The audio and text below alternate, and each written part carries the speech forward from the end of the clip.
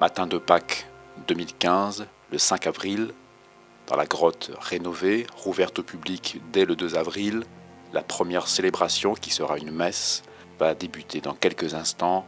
Le Père Horacio Brito, recteur du sanctuaire, juste avant que ne débute cette messe. Oui, effectivement, c'est la première messe à 6 heures du matin, il faut bien le dire.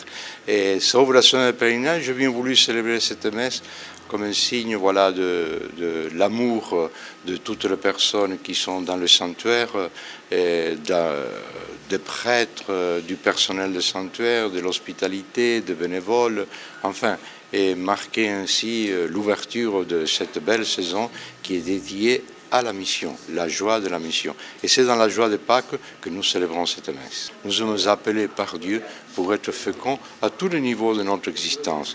Nous sommes faits pour la culture de la vie et non pas pour la culture de la mort.